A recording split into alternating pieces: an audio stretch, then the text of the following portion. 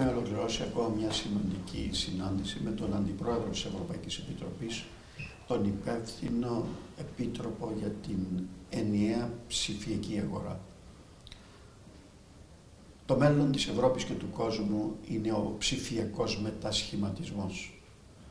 Μπορούμε να κάνουμε άλματα προς όφελος της οικονομίας και των μελλοντικών γενιών. Κάποια απλά παραδείγματα. Στην Εσθονία εισάγοντας την ηλεκτρονική ταυτότητα και την ηλεκτρονική υπογραφή είχαν ένα όφελος 2% του ακαθάριστου εθνικού προϊόντος.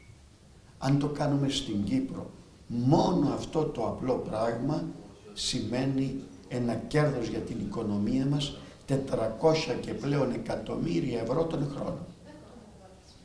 Να η πρόκληση, να το στίχημα και εμείς στο Δημοκρατικό Συναγερμό θα κινηθούμε σε αυτή την ατζέντα.